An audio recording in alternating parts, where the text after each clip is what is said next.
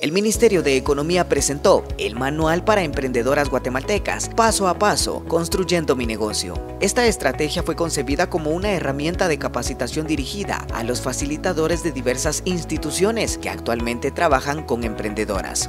El manual constituye una guía para que los capacitadores mejoren sus respectivas competencias de formación, capacitación, transferencia de conocimientos y habilidades, lo que permitirá apoyar mejor a las emprendedoras.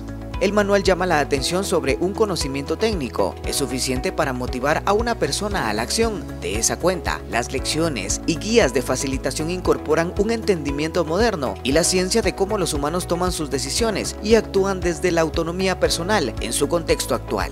Diario de Centroamérica. Las buenas noticias también se cuentan.